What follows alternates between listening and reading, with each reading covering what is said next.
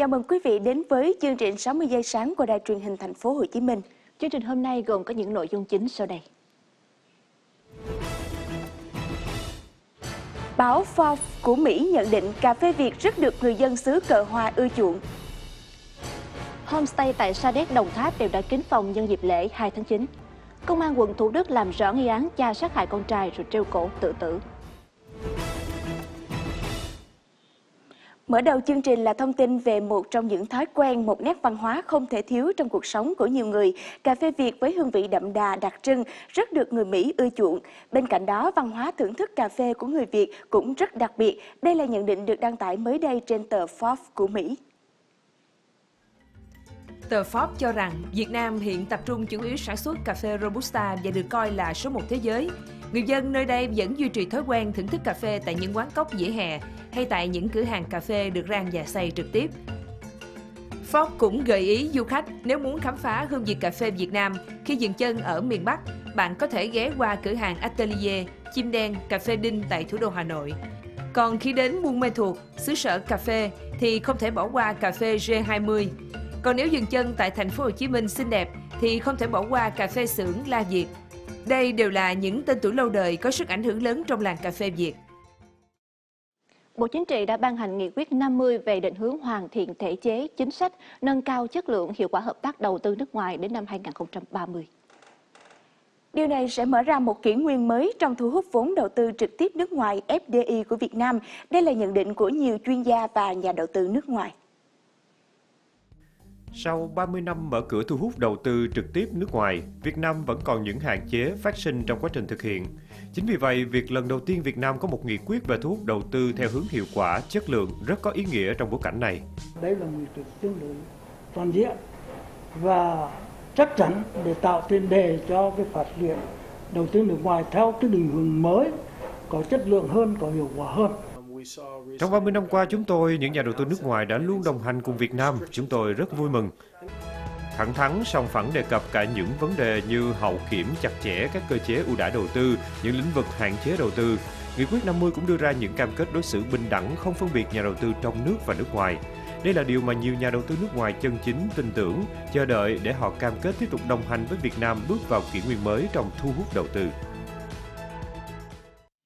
Mặc dù còn khoảng một tuần lễ nữa mới đến kỳ nghỉ lễ Quốc khánh 2 tháng 9, tuy nhiên thời điểm này các điểm homestay trên địa bàn thành phố Sa Đéc, tỉnh Đồng Tháp đều đã kín phòng, giá cả cũng là một điểm cộng cho hoạt động nghỉ dưỡng tại đây.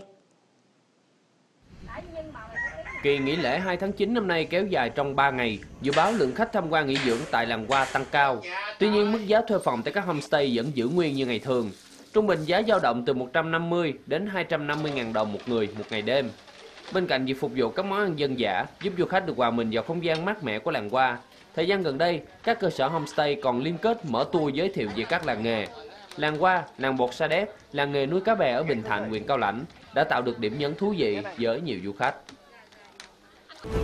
Tiếp theo trong chương trình, Xảy ra cháy tại thành phố Hồ Chí Minh và Đồng Nai vào chiều tối qua, may mắn không có thiệt hại nhân mạng tạm giam người cha bạo hành con gái 6 tuổi với tỷ lệ thương tật 13%.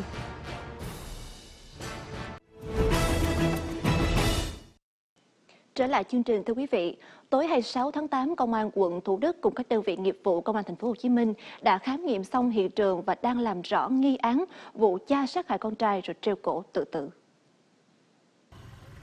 Theo thông tin ban đầu, khoảng 15 giờ cùng ngày, người dân ở khu trọ trên đường số 13, phường Linh Xuân, quận Thủ Đức phát hiện anh Phan Văn Bằng, 35 tuổi, quê Kim Sơn, Ninh Bình, cùng con trai Phan Nhật Quang, 5 tuổi, tử vong trong tư thế treo cổ trong căn phòng trọ. Vụ việc nhanh chóng được trình báo lên cơ quan chức năng. Theo một số người dân, gia đình anh Bằng chuyển tới khu nhà trọ này gần được một năm. Tuy nhiên do mâu thuẫn nên cách đây khoảng 3 tháng, người vợ đã bỏ đi nơi khác sinh sống. Bước đầu qua công tác khám nghiệm hiện trường, công an nghi anh Bằng đã sát hại con trai rồi tự vẫn. Hiện thi thể hai nạn nhân đã được chuyển về nhà xác để khám nghiệm tử thi. Chiều qua, khói đen bốc lên tại một quán cà phê lớn ở quận 3 thành phố Hồ Chí Minh, khiến hàng chục nhân viên và khách hàng hoảng loạn tháo chạy. Theo thông tin ban đầu, khoảng 17 giờ chiều cùng ngày, khói đen bất ngờ bốc lên nghi ngút tại khu bếp của quán cà phê Runam Bistro, nằm tại số 106 Nguyễn Thị Minh Khai, quận 3. Hàng chục nhân viên và thực khách phải bỏ chạy ra bên ngoài. Nhận tin báo, cảnh sát phòng cháy chữa cháy quận 3 đã điều nhiều xe chuyên dụng đến hiện trường triển khai chữa cháy, không để lây lan sang các khu vực lân cận. Sau ít phút, đám cháy được dập tắt hoàn toàn. Vụ hỏa hoạn không gây thương vong về người, nhưng đã làm hư hại nhiều tài sản. Giao thông qua khu vực bị ủng tắc nghiêm trọng do ảnh hưởng sự cố trên. Theo người dân, nguyên nhân hỏa hoạn có thể do sự cố xì bình ga. Trong khi đó, tại Đồng Nai cũng vào chiều qua, một vụ cháy lớn đã xảy ra tại một cơ sở sản xuất mút xốp nằm trên quốc lộ 1, đoạn đi qua khu phố phường Tân Biên, thành phố Biên Hòa. Đến 17 giờ cùng ngày, đám cháy mới được dập tắt. Theo thông tin ban đầu, vào khoảng 16 giờ, người dân phát hiện lửa bùng phát bên trong cơ sở chứa nhiều mút xốp. Mọi người đã hô quán và dùng dòi nước và bình chữa mini dập lửa nhưng bất thành. Nhận được tin báo, lực lượng phòng cháy chữa cháy công an tỉnh Đồng Nai đã điều động 5 xe chữa cháy cùng hàng chục chiến sĩ đến hiện trường dập lửa chống lây lan. Nhiều người dân hiếu kỳ tụ tập trên đường khiến giao thông qua quốc lộ 1 bị ủng ứ kéo dài. Hiện nguyên nhân và thiệt hại sau vụ cháy đang được lực lượng chức năng điều tra làm rõ. May mắn không có thương vong trong vụ hỏa hoạn. Thưa quý vị, Phạm Thị Kim Dung, sinh năm 1988, người tỉnh Hưng Yên, vừa bị Công an quận Đống Đa, Hà Nội khởi tố bởi hành vi tổ chức mang thai hộ vì mục đích thương mại. Vụ án cũng đã được công an khởi tố. Theo cơ quan điều tra, lợi dụng tình trạng nhiều gia đình gặp khó khăn trong việc sinh sản, có nhu cầu tìm người mang thai hộ, Dung đã tìm người nhận đẻ thuê với giá vài trăm triệu đồng một trường hợp. Ngoài việc môi giới để thuê, đối tượng này còn tổ chức mang thai hộ để hưởng lợi cho 5 trường hợp khác. Hiện cơ quan điều tra đang cho Dung tại ngoại vì bị cáo này cũng đang trong thời gian mang thai. Uống rượu say xỉn rồi đánh đập con cái, Nguyễn Văn Bình, 41 tuổi, trú tại huyện Châu Thành A, tỉnh Hậu Giang, đã bị bắt tạm giam. Hành vi bạo lực này cần phải được pháp luật trừng phạt thích đáng. Trước đó vào tối ngày 17 tháng 8, sau khi uống rượu tại nhà, ông Bình kêu con gái 6 tuổi ăn cơm nhưng cháu không ăn. Tức giận, ông lấy khúc gỗ đánh vào chân và mông của con. Tiếp đó, ông còn chụp lấy thanh sắt dùng để gài cửa đánh trúng đỉnh đầu làm cháu bé chảy máu. Được người dân báo tin, công an xã Thạnh Xuân đến hiện trường bắt quả tang ông Bình có hành vi hành hạ con. Qua làm việc, ông khai nhận do vợ bỏ đi hoàn cảnh khó khăn nên thường xuyên uống rượu. Trong lúc say rượu không kiềm chế đã đánh con. Cơ quan chức năng địa phương đã đưa con gái ông Bình đi kiểm tra sức khỏe thì phát hiện trên cơ thể cháu bé có nhiều vết thương mới lẫn cũ, với tổng tỷ lệ thương tích tổn hại sức khỏe là 13%. gian nan con đường đến trường trong những ngày đầu năm học mới của các bạn học sinh thị xã Ninh Hòa, tỉnh Khánh Hòa. Đi trên con đập tràn để vượt qua sông Cái là con đường mà các bạn nhỏ xã Ninh Bình chọn để đến trường. Một cảnh tượng nguy hiểm khiến ai nhìn cũng phải thoát tim. Lối đi trên mặt con đập tràn chỉ rộng hơn 1 mét, dài đến hàng trăm mét, không có giải lan can. Tuy nhiên đây là lối đi tắt được các em học sinh chọn đến trường. Các em nối tiếp nhau chạy xe máy trên mặt đập như làm xiết, rất nguy hiểm. Vì chỉ một khoảnh khắc mất tập trung là cả người và xe sẽ rơi xuống đập cao gần 10 mét. Những năm qua tại con đập tràn này đã xảy ra nhiều vụ tai nạn. Gần đây nhất là vào năm ngoái, một người đàn ông trên đường về nhà khi chạy trên đập đã bị rơi xuống sông mất tích. Tuy nhiên vì không có con đường nào khác, học sinh vẫn phải tiếp tục chọn vượt qua con đập thế này. Các bậc phụ huynh và người dân mong muốn chính quyền tỉnh quan tâm, sớm xây dựng một cây cầu nhằm tạo thuận tiện và an toàn cho các em học sinh đến trường.